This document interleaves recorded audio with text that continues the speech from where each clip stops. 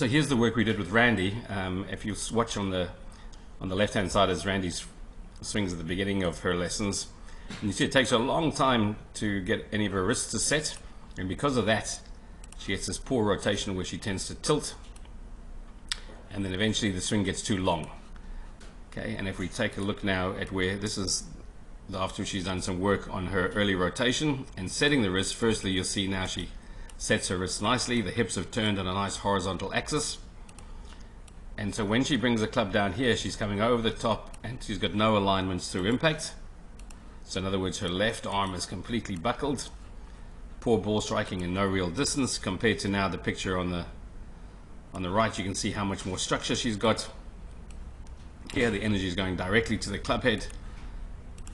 Her alignments are better and then when she goes through you can see the balance extension weight on that left side and nice rotation and if you look from down the line, the difference is even more impressive.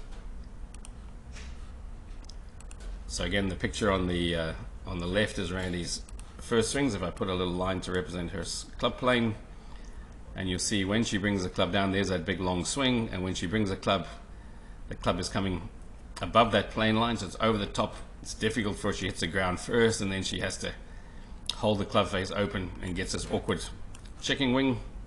And the work we've done now on the with that shorter backswing and setting the wrists she gets the club nicely on plane. And then when she brings the club down her club's approaching from underneath that plane line which means she can rotate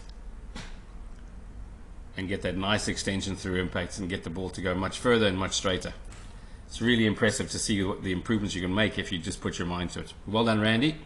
And if you need help with your game give us a shout